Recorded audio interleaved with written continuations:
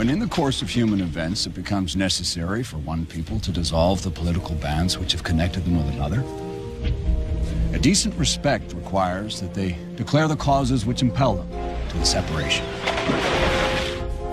We hold these truths to be self-evident.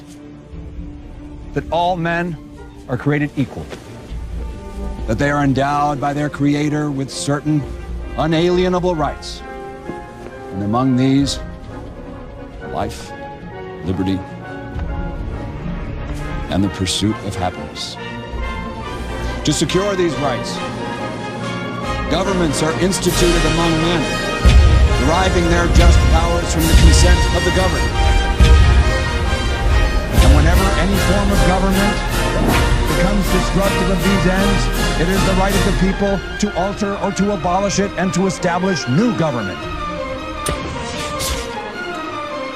We therefore, the representatives of the United States of America, do and with the authority of the good people of these colonies, solemnly publish and declare that these united colonies are, and of right ought to be, free and independent states, that they are absolved of all allegiance to the British Crown, and that all political connection between them and the state of Great Britain is and ought to be totally dissolved.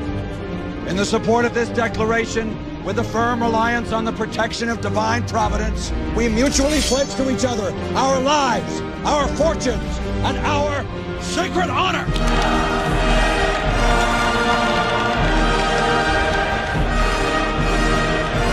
When a disease like communism hangs on as it has for a half a century or more, it's good now and then to be reminded of just how vicious it really is. Of course, those who have the disease use all kinds of misleading terms to describe its symptoms and its effects. But we've grown so used to communist double talk, I sometimes think we've lost some of our fear of the disease. We need frequent vaccination to guard against being infected until the day when this health threat will be eliminated as we eliminated the Black Plague.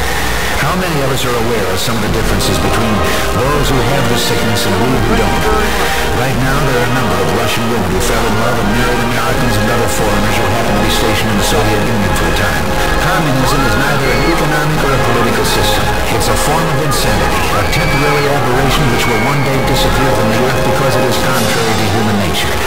But I wonder how much more misery it will cause before it disappears.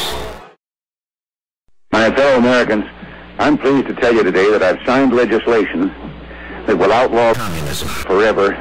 We begin bombing in five minutes.